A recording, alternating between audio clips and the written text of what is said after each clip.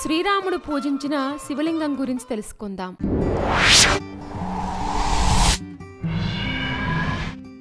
సీతారాములు నడయాడిన పుణ్యస్థలం అది దట్టమైన అడవిలో ప్రకృతి అందాల నడుమ పుణ్య శబరి నది ఒడ్డున త్రేతాయుగం నాటి స్వయంభూలింగం గుప్తేశ్వరుని దర్శనం మనకు ఎంతో ఆనందాన్ని కలిగిస్తుంది.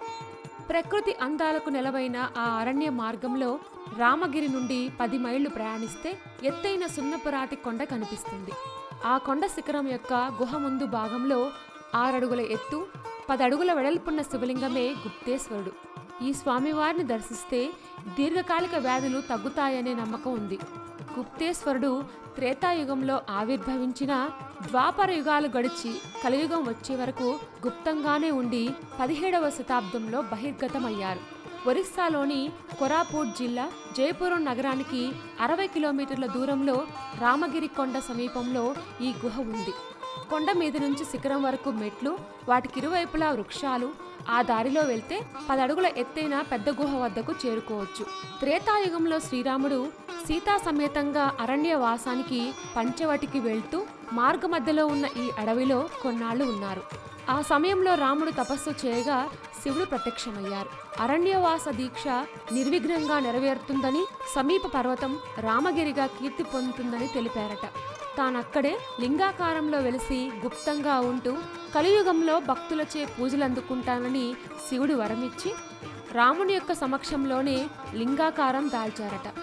శివుడు చెప్పిన విధంగా ద్వాపర త్రేతాయుగాలు ముగిసి కలియుగంలోని పదిహేడవ శతాబ్దం వరకు ఆ లింగం యొక్క ఉనికి ఎవ్వరికీ తెలియలేదు.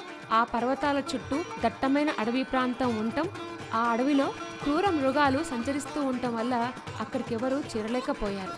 స్థానికంగా వినిపించే కథల ప్రకారం అవతార పురుషుడైన శ్రీరాముడు తన వనవాస కాలంలో భార్య సోదర సమేతంగా శ్రీ గుప్తేశ్వర స్వామికి అభిషేకాలు చేసినట్లుగా తెలుస్తోంది. రామాయణ కాలంలో దండకారణ్యంగా పేర్కొన్న ప్రాంతాల్లోని భాగాలే నేటి ఒడిశాలోని కోరాపుట్ మల్కన్గిరి ఛత్తీస్గఢ్లోని బస్తర్ మరియు ఆంధ్రప్రదేశ్లోని పశ్చిమ గోదావరి జిల్లాలు అని పేర్కొంటారు. అలా యుగాల నుండి గుప్తంగా గుహలో ఉన్నందున భక్తులు శ్రీ గుప్తేశ్వర్ మహాదేవ్ అని కూడా పిలుస్తుంటారు. నాటి నుంచి నేటి వరకు స్థానికంగా ఉన్న అడవి బిడ్డలే స్వామివారికి పూజాధికాలు చేస్తున్నారు. మహాకవి కాళిదాసు రచించిన మేక సందేశంలో ఇక్కడి దట్టమైన దండకారణ్య వనాలను పక్కనే పారే సావేరి నది మరియు గుహలో కొలువైన శ్రీ గుప్తేశ్వరుడు గురించి వర్ణించినట్లుగా తెలుస్తోంది. పంతొమ్మిదవ శతాబ్దంలో జైపూర్ని పాలించిన దేవ్ వంశరాజుల ఏలుబడిలో ఉండేది ఈ ప్రాంతం. ఒకనాడు వేట కోసం అడవిలోకి వచ్చిన రాజు గుహలో కొలువైన గుప్తేశ్వర లింగాన్ని దర్శించుకున్నారట. అప్పటి నుంచి భక్తులు గుప్తేశ్వర్ మహాదేవుని సందర్శించుకోవడానికి రామగిరి ప్రాంతాలకు వస్తున్నారు. ముఖ్యంగా శ్రావణ మాసం కార్తీక మాసాల్లో పెద్ద సంఖ్యలో భక్తులు వస్తుంటారు. మహాశివరాత్రి పర్వదినం రోజైతే లక్షల సంఖ్యలో తరలి వస్తారు దండకారణ్యంలో భాగమైన రామగిరి అరణ్యాల్లో నెలకొని ఉన్నది శ్రీ గుప్తేశ్వర స్వామి ఆలయం. ఇక్కడ ఇవే కాక ఎన్నో గుహలున్నాయి. చాలా వరకు వాటిని భద్రతారీత్యా మూసివేశారు. ప్రస్తుతం సందర్శకులు దర్శించుకోవడానికి అనువుగా ఉన్న గుహలు నాలుగున్నాయి. మొదటిది గుప్తేశ్వర లోయలోకి అడుగు పెడుతున్నప్పుడు ఎడం పక్కన కనిపిస్తుంది. ఇందులో గణపతి శివుడు మరియు శ్రీ దుర్గాదేవి కొలువై ఉంటారు. పక్కన నిర్మించిన చిన్న మందిరం లాంటి నిర్మాణంలో శ్రీ సీతాలక్ష్మణ సమేత శ్రీరామచంద్రుడు మరియు శ్రీరామ భక్త హనుమాన్ మనకు దర్శనమిస్తారు. మధ్యలో ప్రధాన గుహాలయానికి దారితీసే మార్గాన్ని వదిలి నదివైపుకు వెళ్తుంటే ఎడం పక్కన పరభేద మరియు స్వర్గద్వార గుహలు ఉంటాయి. కొండల్లోకి నడక మార్గాన్ని కూడా నిర్మించారు. సుమారు అర కిలోమీటర్ల దూరం వెళ్తే మనకు పరభేద గుహ కనిపిస్తుంది. దండకారణ్యంలో భాగమైన రామగిరి అరణ్యాల్లో నెలకొని ఉంది శ్రీ గుప్తేశ్వర స్వామి ఆలయం. మట్టితో నిర్మించిన మెట్ల మార్గంలో చీకటితో నిండిన గుహలోకి వెళ్తే నాగాభరణంతో అలంకరించబడిన శివలింగం కనపడుతుంది.